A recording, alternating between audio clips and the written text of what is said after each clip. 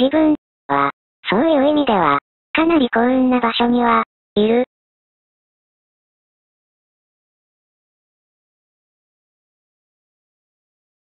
自分が良いと思うものが、売れるネタ、である。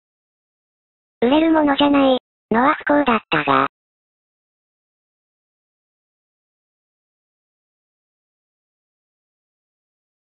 王の権威は前は、ここ、にあり。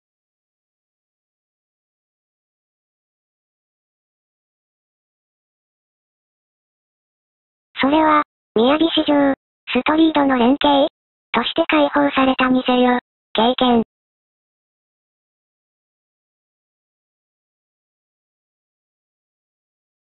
私が王だ。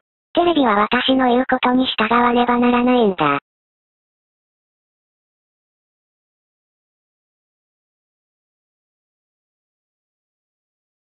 なんて言い出さずに、あくまでもかわいそうな被害者の位置にいるのは、視点を変えれば神の慈悲だろうか。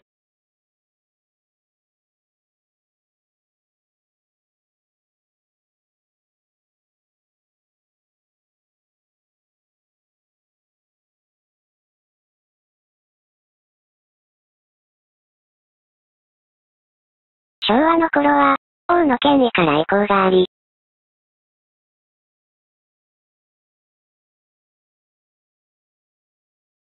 それ、を現場が、うまく実現できれば、それ、が売れた。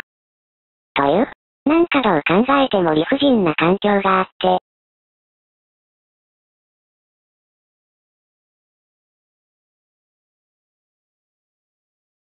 それは、王自身も困りはしただろう。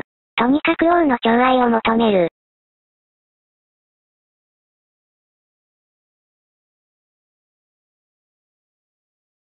平成に入って、王の権威が曖昧になり、私が王だ、言い出した奴がどこかにいて、時代は紡がれた。